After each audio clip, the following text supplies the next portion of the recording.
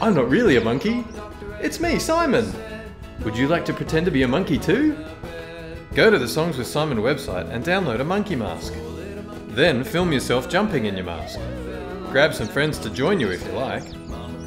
Get your parents' permission first.